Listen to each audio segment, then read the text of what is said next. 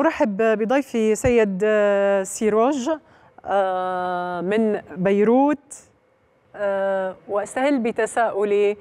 يقال أن اللبنانيون بشكل أو بآخر بانتظار وترقب بداية العام ووصول دونالد ترامب للبيت الأبيض. وهنا نتحدث عن قرابة الشهرين ونيف. يمكن أن تحدث تحولات خطيرة ميدانية وسياسية. ليس بيد اللبنانيين سوى الانتظار وترقب وربما مفاجآت كثيرة في الميدان والسياسة خلال هذين الشهرين؟ مساء الخير لكم لضيفك الكريم ولجميع المشاهدين. طبعا الأداء السياسي في المنطقة سوف يتغير بتغير رئيس الولايات المتحدة.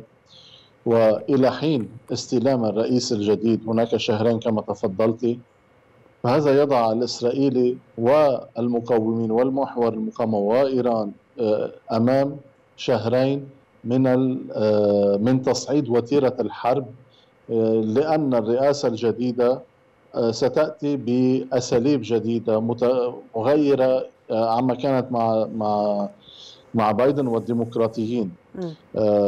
نعلم مع ترامب أن هناك حزم أشد ولكن الأساليب هي هي أخرى. و فلذا أنا نحن نتوقع بأن جنون نتنياهو سيستمر بل بل سيتصاعد وهذا يتطلب أمر مقاومة طبعا بنفس الوتيرة.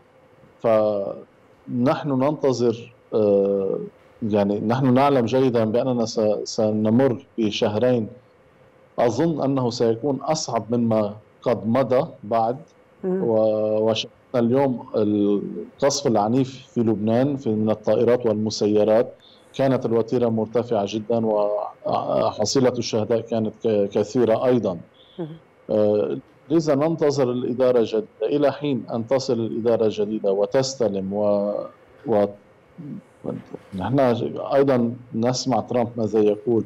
سأوقف الحرب ولكن قبل إيقاف الحرب يقول أيضا أن هناك ضمانات لانتصارات إسرائيلية. سوف يضمنها الأمريكيون قبل إيقاف الحرب.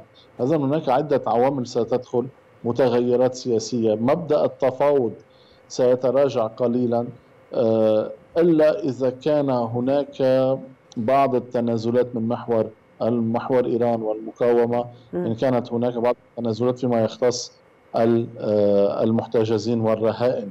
نعم. الإسرائيليين وهناك بعض الأمريكيين مما يمكن أن يضطر الأجواء قليلا ولكن لدينا شهرين سنتلقى سنتلقى صعوبات جمة يعني